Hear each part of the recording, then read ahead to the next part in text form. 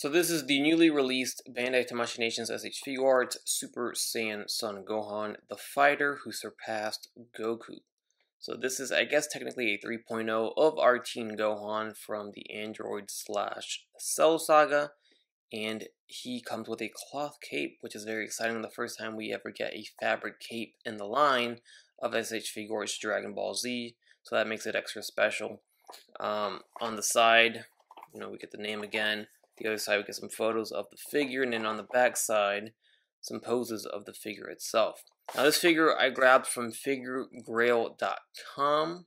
Check them out. It's a US based online store that gets you the SH Figuarts, releases the imports at the same time that the Japanese releases it overseas. So instead of waiting a month uh, or weeks and close to a month sometimes for the release for the Japanese or at least the regular US release, I should say, that you get from Big Bad Toy Store or from other places that have you wait a month at least, uh, you can get it at the same time as Japan, but from a US seller. So this is what Figure Grail does, and also they're actually doing a giveaway right now for this exact Gohan figure. So if you want to enter that giveaway, check them out on Instagram. Uh, they have a post up on what to do to uh, enter that giveaway and you might win yourself this figure right here. So let's check him out and see what he's all about. All right, so I noticed that when I took this figure out of the box, he didn't have any plastic um, films in between the joints like they normally pack these figures with to protect the, I guess, against paint rubbing. So I don't know if that's going to be a change they're going to implement uh, with their releases. Uh, so this figure looks great. As I expected, he looks good. He feels good. Um, this is from the Chinese factory. Um, so I expect this one to be good. And he looks great, man, compared to what we've gotten in the past years of this line. Uh, this is definitely a nice Teen Gohan. So he comes with this head sculpt, as you can see, his Super Saiyan hair. Then he comes with this windswept Super Saiyan hair right here. So he doesn't come with the Super Saiyan 2 Gohan. We've gotten that figure already before but he does come with the windswept. I think the the um the focus of this release, speaking of focus, if this thing could focus on the head sculpt, uh, the focus of this release is displaying him with the Piccolo cape right here, which honestly, the fabric is a lot thicker than I expected it, and it does come with a bendy wire um, on the sides here and on the back. So quality wise, it's thicker and a lot nicer than I anticipated for sure. I thought it was going to be a cheap little piece of fabric, but it's not. Actually feels pretty good. So that's cool. And we do get an alternate set of three faceplates. So let's check that out right now. So the faceplate that he comes packed in with is a very serious, stern look, as you can see him right there. Uh, then he comes with this look, which is another serious look, but as you can see, it's very different than what we just saw right now. And if you're asking if these are swappable with previous Teen Gohans, they are not. There's that head swapping mechanism here just to show you how different they made it. So it's kind of proprietary to this uh, to this release. Alright, so we have this head sculpt where he is again serious but a little bit more angry this time around. This is actually one of the coolest ones of the bunch here. We have the face expression here with some little battle scars, some scuffing, uh, but this is the face he makes uh, when he gets angry. When uh, a, a, particular character dies. Not that I should avoid spoiling a show that, that that is this old, but just in case, I guess, just in case, we'll keep it spoiler free. But this is where he uh, pretty much snaps out of it, or I get snaps. I, let's just say he snaps. Yeah right here.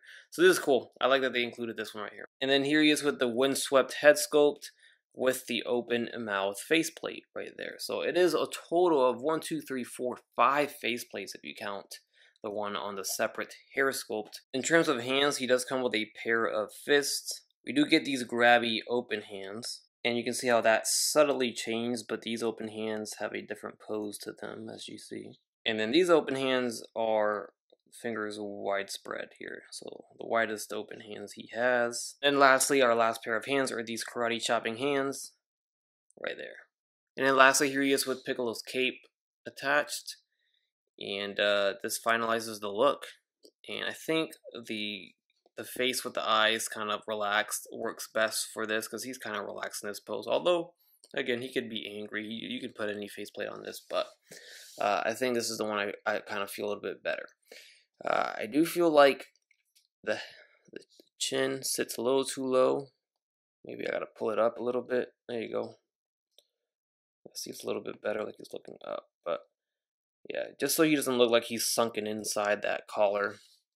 Uh, overall, man, this is a, a pretty cool feature. You know, first time we're getting fabric goods for a cape. I think they're testing the waters, and I kind of like it. I mean, it breaks up here with the plastic to the soft goods, so it looks weird from the back. From the front, not so weird in my opinion.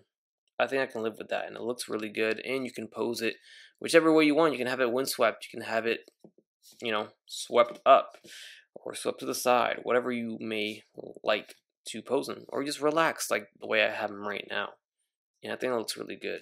So let me know your thoughts. I'm sure they want to know your thoughts too on the Fabric Good cape because we got a lot of caped characters in Dragon Ball Z that perhaps need this treatment, or maybe you don't want this treatment. But um, I think it works at least for this Gohan. Alright, so here's our very first Gohan ever released in this in this entire line. This Teen Gohan here. We got the the muted, you know, stale colored um, uh, manga version, but you can see it's the plastic uh, cape, which honestly, for its time, not terrible. Still not terrible today, but it does limit the range and motion of the arms by a lot. You cannot move those arms a lot. These you can. You can pose the cape however you want, get it out the way, and pose the arms however you would like as well. So that is where we get the improvement. Uh, now this one got some shading on it. This one has no shading on it. Some people may not like that, but we do get shading on the actual body of of Gohan, of the new one. But as you can see, the hair sculpt I believe is improved in my opinion. Got some more detail in that hair sculpt. And it's two-toned. We got the yellow with the dark yellow as well. Shadow uh, or airbrushed in there. Uh, this one does have a smiling, smirking face, while this doesn't seem to have any smiling faces at all. He's just more serious. Obviously, he's not here to mess around. But of course, we get the 3.0 groin, leg articulation on this one, and knee articulation as well. Overall, obviously, this is uh, a figure that at this point is over 10 years apart from each other. So, well over that. From the back side, you can check out the details there versus how it looks like on the new one with the fabric soft goods. So again, sculpted looks a little nicer from the back, not gonna lie. Um, but are you gonna look at him from the back? I'm not sure you will. You can clearly see his neck on this one here. Uh, this one you do not see the neck at all. From the back, I should say. Because from the front, you don't really see his neck either. And that goes for both figures. I don't think you're supposed to see his neck anyways, so we're good on that. But there's your, your comparison between the two figures, and I, I strongly believe the new one is, is vastly improved. I really dig it. I like that we get the skin tone on the ankles there too. Um, you can move the arms, their articulation's better. Obviously, this is to be expected. Again, 10 years apart, well over 10 years apart here. Uh, you could just see how ahead of their time they were 10 years ago and how much they've improved since. So, you love to see it. In terms of their height, as you can see, their height is basically the same. They did not change height much. I, I, I guess the hair on the old one's just a tad bit taller. I don't know. Maybe that's just the angle I'm looking at it. I could be wrong. They look the same to me. Honestly, I'm looking at the shoulders where the faces line up to each other. Uh, everything is about even. So I, I, think it's safe to say that uh, height-wise didn't change very much. Here he is next to the 2.0 release, which came with the Battle Damage Gi. And this is still a great figure. Still good for what it is. It's our only Battle Damage Teen Gohan aside from the event exclusive they repainted of this guy. But uh, you can see they're sporting the same hair sculpt here. Um, and I mean, sculpt wise, I guess for the face, I would I would have to go with the new one for sure. Um, skin tones are different. The hair color is a little bit different too. Everything's overall pretty different. So as you can see, nothing's gonna be even if they could fit the face plates, you're not gonna match the skin tone. So uh, in case you wanted to see these two next to each other, uh, there you go. So here is the 1.0 SDCC exclusive anime colored version and they're matching the blue belts with the purple gi here the darker contrasted colors that I do like. But as you can see obviously very different. This is a over 10 year old figure once again just like that first one I showed you. And uh, you know pick your pick your poison here. We have we have a lot to choose from but honestly I love them all. I really do. Uh, new one is is solid very solid, and I can see how that's that's the best one, and it should be. You know, it, it, we should be getting better, not worse. So we were definitely uh, looking pretty good. And just to get him here next to his father, got the Saiyan on Earth Goku figure. And height-wise, you can see how they stack up, and I think that's pretty good. Alright, so that should wrap things up on this review of the fighter who surpassed Goku Super Saiyan Son Gohan 3.0 you love to see it. I love to see it.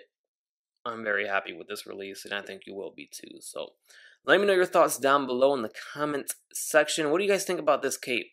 Honestly, check it out, man. When swept, I think it's a hell yeah. You know, lovely. Love it, love it, love it. So, anyways, hit the like button, comment down below, subscribe if you have not done so already. And as always, everyone, take care, take it easy. I'll catch you on the next one. Bye.